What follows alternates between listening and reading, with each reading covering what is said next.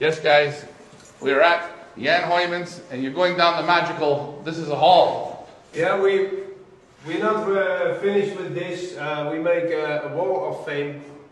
Uh, we start up with make pictures and put it in the list, so it's not finished yet. And uh, I show you uh, just a short view. As we walk down, and you see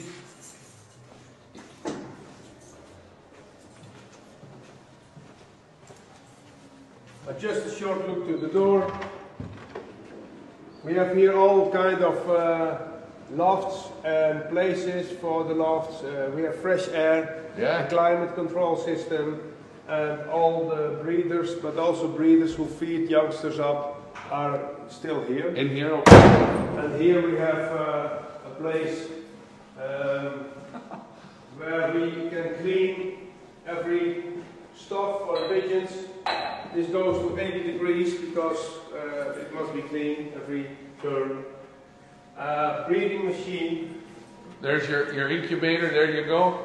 Here we have a sep- Here we have a separate place where we uh, the, the food is coming in. And you see, guys, they, they don't leave nothing unturned. Man, nest bowls, you you wrap them, eh? Arab, uh, there is a crisis in the world. You know that, huh? There, oh, I heard there's a crisis. Yes. The prices.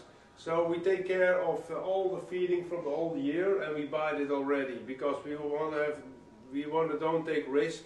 If the racing season